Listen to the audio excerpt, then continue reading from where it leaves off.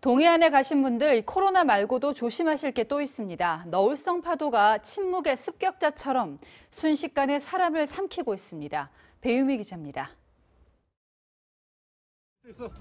구조대원들이 급히 바다로 뛰어들어 패들보드에 매달려 있던 남성을 구조해냅니다.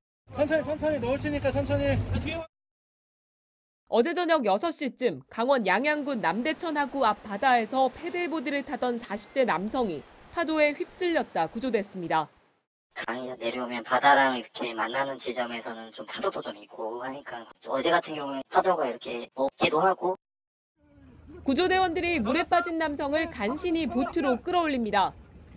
강원 속초항 앞 바다에서 물놀이를 하던 20대 남성이 파도에 떠내려갔다 구조됐지만 끝내 숨졌습니다.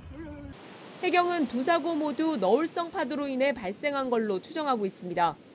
너울성 파도는 먼 바다에서 형성된 큰 파도가 해안가까지 밀려드는 현상으로 맑고 바람이 없는 날에도 갑자기 찾아와 침묵의 습격자로도 불립니다.